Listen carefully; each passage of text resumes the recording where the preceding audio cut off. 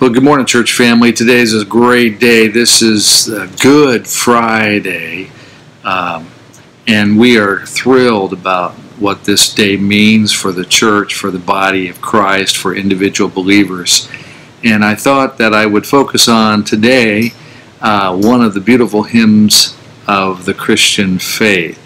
And uh, the hymn is in public domain, and it is entitled Jesus Paid It All all to him I owe. The words, uh, some of the words of the hymn says, I hear the Savior say, Thy strength indeed is small. Child of weakness, watch and pray, find in me thine all in all. Jesus paid it all, all to him I owe. Sin had left a crimson stain, he washed it white as snow. And uh, goes like this.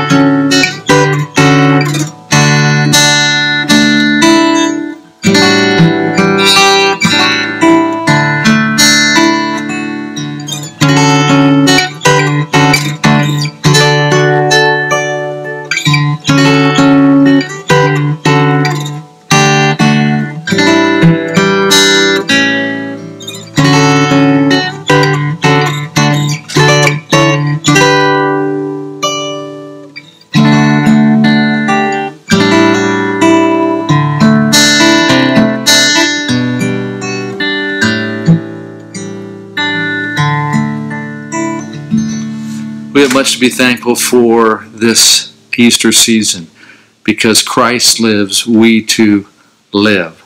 And just wanted to share that with you. Jesus paid it all. Praise his holy name. Rest in that great, great truth and trust in him today. God bless. We are praying for you.